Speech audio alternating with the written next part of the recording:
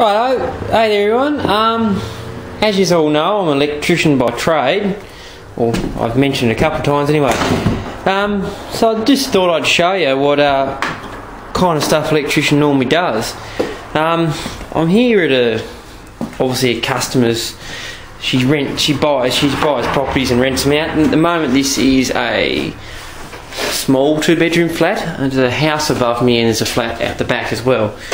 Uh, she's just brought these, so whatever flat, this one was empty, so it's been renovated, and hopefully some stage later in the year the house will be renovated, and then the top flat, um, I think is actually doesn't need to be done, and that bloke's been there for years.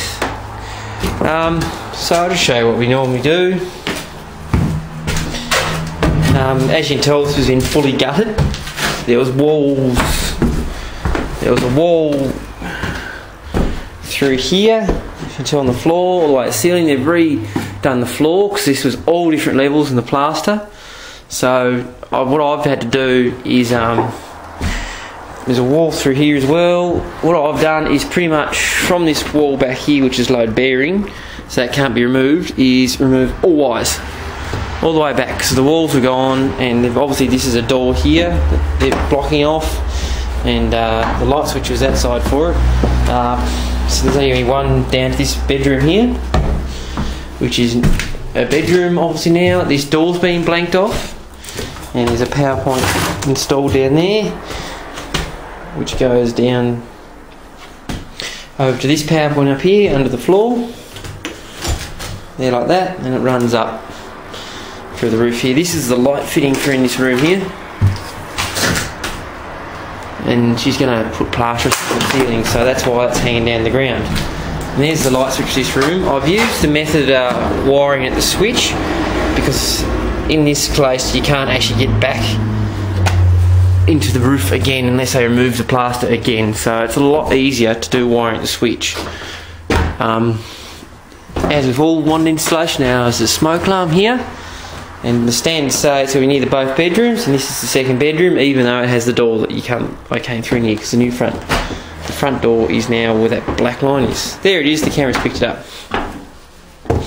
So there's the smoke alarm required by law. Um, it's just got a two-way switch in it, hence the single at this end.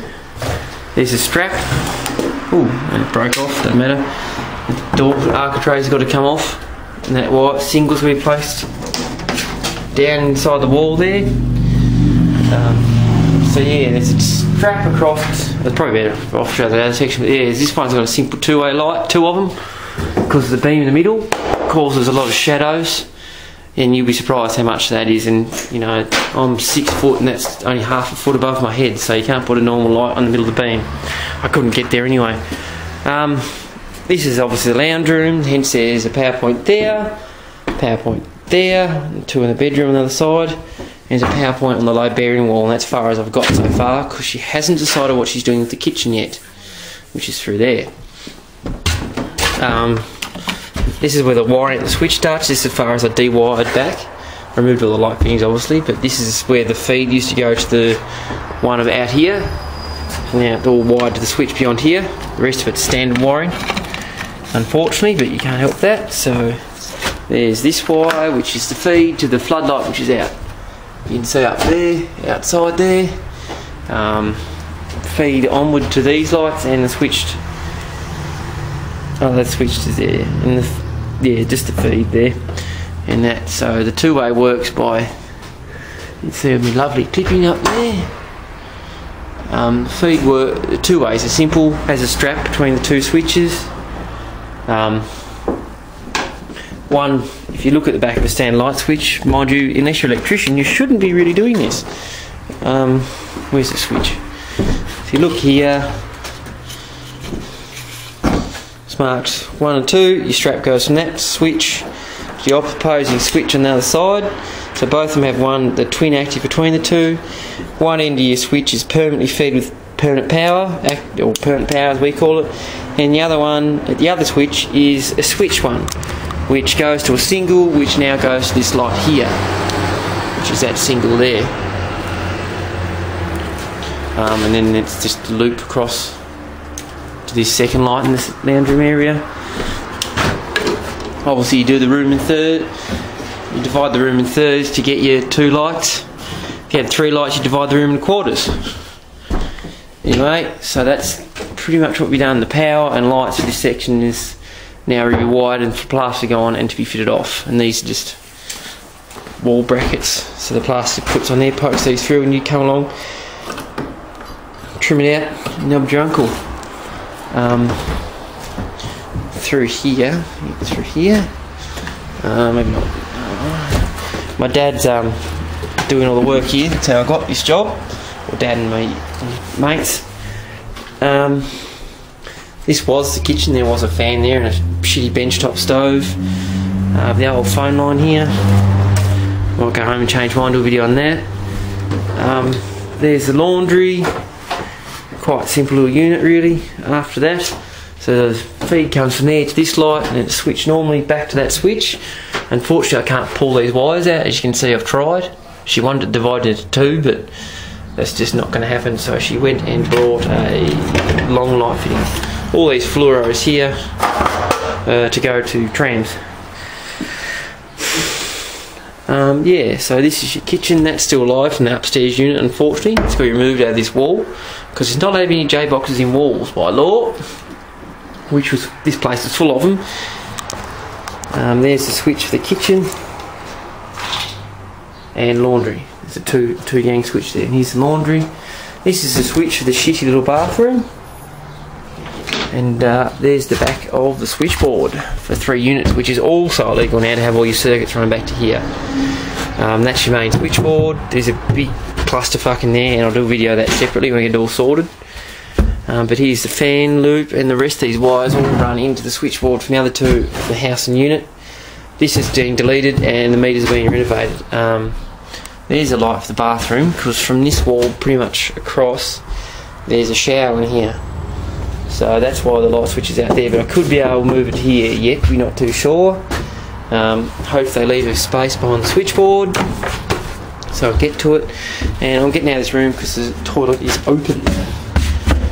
So yeah, that's pretty much what I've done for the last few days. Um, pretty much a usual job, but now I work for Roscoe. I'm allowed to film these sort of jobs, and it's all myself. Oh, Alex helped for a bit, but he's so it's pretty much me only here. Um, not not a bad job this one. You just got to upgrade all the fittings and stuff, and pretty much making a little shit little unit underneath here was probably rented to 100 Chinese. I shouldn't say that, but there's about nine of them, oh, 11 of them up in the house above me, which is not much bigger than this really. Yeah, so uh, yeah, but hopefully she'll do it and she'll get a nice little old lady in here or something like that. But yeah, we'll see. I'll show you the end result in a few weeks' time, hopefully, when the plaster's all on. Yeah, that's pretty much why you do it. Just, uh, yeah.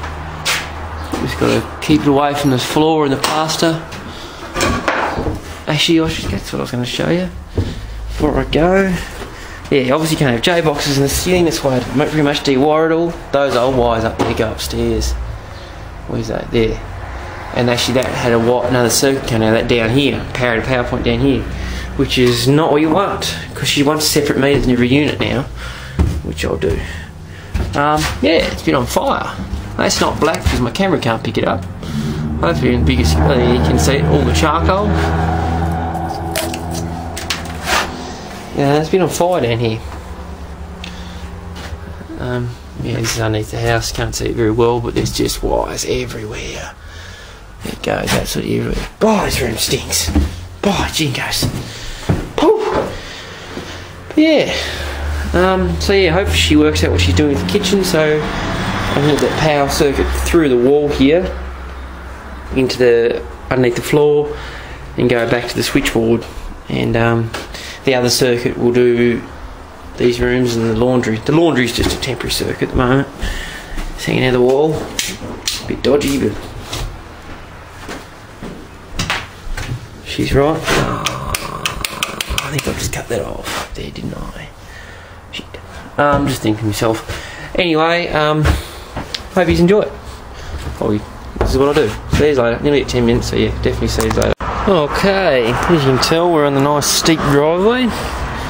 Um, this is those meters I was talking about. I wasn't going to film, but I thought I will. Mainly for HD. Oh, I forget it every time. HD HDFX. Oh, I don't know your name, Cobber. You know what I'm talking about when I say. A couple of old meters here for you. Is that one? M1 and M3. But anyway, um, there's the hot water switches. So there's there's these two meters run all three flats, which is not allowed. And uh, as you can tell, the switchboard's only one too. Is also not allowed. So I'm actually off to the wholesaler now to um, discuss getting a four four panel uh, enclosure. So there's one meter there, one meter there, one meter there, and the new requirements you have main switches on your mains. And this is dual phase or twin phase, polyphase, you want to call it. Um, so if you had double 80 amp breaker, which will be expensive, but we'll have to get it. That's what Aurora said to do. And then I can put somewhere a three a three line switchboard in. Um, I got approval to do so. You actually have to, otherwise they would make you put pull all the circuits back to each individual unit and put separate switchboards in, which would be quite expensive. Anyway, I'll show you how it's go later on, with your job. Almost forgot. Um, got to do this here too. It's a shed. Uh, the feed comes, I believe, from down the switchboard. It's turned off, so it must run off one of the circuits for that flat. Um, yeah. Once the camera gets out of the sun and focuses on this, this is the conduit here, the orange one. Don't know what that is. Don't me it's a phone line. I think it is. Um, this is the orange conduit that comes up from the house, which is down the driveway there. If you can see it down there, down there. Um, well, looks like an old PowerPoint. Upside down at first, you say? Well, it gets much worse than that. That actually isn't the old PowerPoint, old metal PowerPoint. Um, it's the J box. And yes, you can poke your finger in there and touch the live wires. So that's got to be changed. Um, another lovely legal thing here is the wire ran just below the roof. Down to that PowerPoint there. So another thing has to be redone. Back to here is it's got to go up there down to that power point. Use that light switch on the PowerPoint to put a nice fluoro in the middle here. Um, and take off all these dodgy looking wires and stuff. And then I think she wants a sensor light in that corner so I can just come out of the J box and I can put on there and over there. The switch on it just above the over here somewhere. So that'd be easy enough to do. But yeah, it's just dodgy. Oh no. Oh, there's the sensor light there. There's the plug for the sensor light. Ugh, yuck. Dodgy, dodgy, dodgy. So, uh, yeah.